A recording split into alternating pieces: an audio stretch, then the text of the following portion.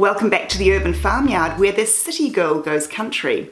Over the last few weeks I've been doing a lot of decluttering and that's got me thinking about a video that I filmed a few years ago where I decided to employ the KonMari method to my pets. So today we're going to do a throwback Thursday and we're going to take a look at the days gone by when I lived in the city and I had dark hair and I had a whole lot less pets. Let's go take a look. Been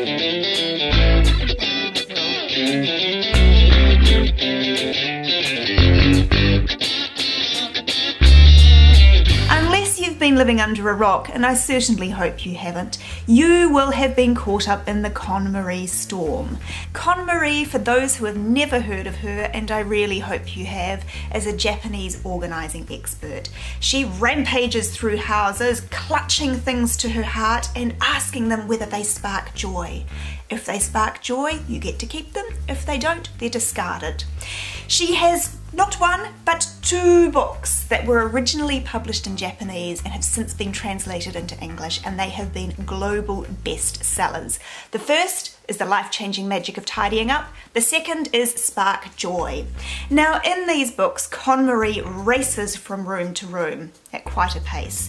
She goes from bedrooms to kitchens to bathrooms to living rooms, and she goes through a vast array of categories from clothes to shoes to photographs to books to cutlery to cosmetics and valuables. Each time she insists on you determining whether every item in those categories sparks joy and determines whether they get to stay. There is one big gap we have noticed, however. There is no section in either of these books on KonMariing your pets. So after numerous requests, we are going to do precisely that with the animals. It is going to give you an opportunity to meet the furry little delinquents that hang out with us, and it will give us an opportunity to determine whether they truly spark joy. Let's go and meet them. First up is Winston the Giant. Now Winston here has been curled up with me all day, stealing pens, prancing around on the computer and generally wreaking havoc. Now he may look enormous, and he is, but he is in fact a kitten, albeit he's a Maine Coon kitten and clearly he doesn't want to be held. But let's wrestle him into my arms, we're going to hug him close and we're going to see if he sparks joy. Let's do it. Do you spark joy? Hey Munchkin? Munchkin, do you spark joy? You do. Winston sparks lots of joy. I don't think he's overjoyed at being held, but you know what? I think he's joyful enough that he gets to stay. Hey, do you get to stay, Winston? Football, do you get to stay? You do. I love you. Okay, let's go and get someone else. Next up is Winnie Witch. This beautiful little girl is a Scottish fold and she is the love of my life. Well, one of them. You'll see there's quite a few of them in this house. So let's give her a quick squeeze and see if she sparks joy. Hmm. Well, despite the fact that she now doesn't want to be held, I think she's pretty joyful. Well, she may not be joyful or overjoyed. I certainly am though, and I think we'll probably keep her. Right, next up, who's next? Next up is Otto Woo! This beautiful little creature is Otto and he is a black and silver miniature schnauzer. He is the loveliest, snuggliest little dog you will ever meet. As you can see, Winston's very excited to see that he's been allowed into the bedroom. So let's give him a hug and see if he sparks joy.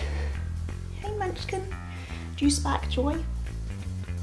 You spark lots of joy, hey? Is it a nice cuddle? Do you think you get to stay? I think so too. Shall we keep you? We'll keep you at least another day. Definitely. So there's Otto. He definitely sparks joy, so I think he's going to be able to stay as well. Right, on to the next one. Oh, here we go. Next up we have Harry Dog. Harry is also a miniature schnauzer. He is salt and pepper though. And he is a pretty oversized mini schnauzer. He's verging on standard size. Who knows why? He just is. He's always been big. He is a pretty independent, strong-willed little pup, but I love him to bits. So let's give him a hug and see if he sparks joy.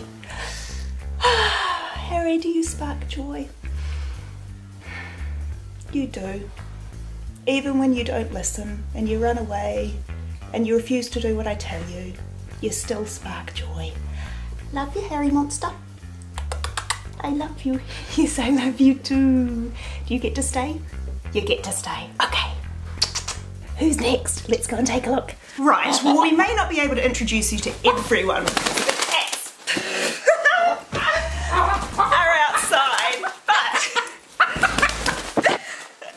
Right, well, we may not be able to introduce you to everyone because some of the cats are outside and refusing to come in, but we can introduce you to one of the hens if we let Winston out of the way. This is Gertrude Hen. She is an Araucana who was introduced to Spot HQ a number of years ago. She came to us having had very little contact with humans and really didn't like to be around people and she now spends all her time trying to get into the house and into the office so that she can steal the dog's food. So let's give her a cuddle and see if she sparks joy. Winston, leave. Leave.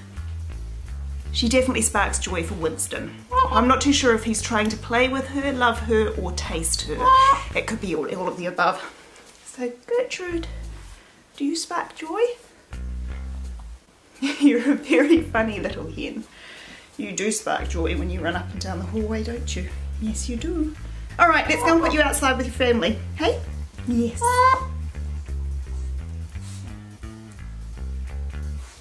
That? Good fur balls. And here's another one. This is my beautiful Ophelia hen. Ophelia came to me when she was just a tiny little chick. She came with her mum, her two sisters, and her brother, Roger the rooster. And she is a white Chinese Silkie. She is a very quiet little hen. She loves to sit on these. So we're going to give her a cuddle and see if she sparks joy and decide if she gets to stay. What do you think the result's going to be? Cuddles? Cuddle Sunshine? Mmm, Ophelia. Very pretty. Aren't you? Pretty girl. Pretty girl. I think she sparks joy. She's so gorgeous. She, of all the hens, is the one that everyone always comments on.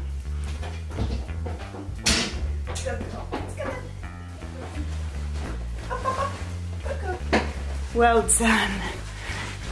And you haven't seen a goat in a bedroom before. This is our beautiful Veronique. She was rescued. She was found wandering about a year ago and she came to live at Spot HQ with her brother, brother Bond.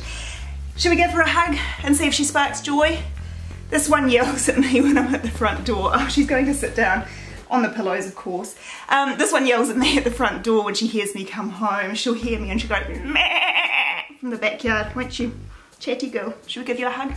Do you spark joy? You sure do. You're a funny little bean. You're a funny little bean, hey.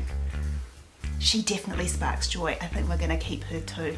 All right, there we go. That's enough KonMari. As expected, we've hugged maybe half the animals that are here. There's a whole lot more than this, but you know what? They're all outside and they're not hanging out with us right now, so we're gonna leave them be. You will get to meet them at another time. If you haven't yet read The Life-Changing Magic of Tidying Up, thoroughly recommend it. You definitely go need to go through and hug your pets, figure out whether they spark joy. Whether or not you're going to get rid of any of them, you're probably not if you're anything like me. I run the policy that once they're here, once they're adopted, they're here for life. I'll see you very soon. Bye.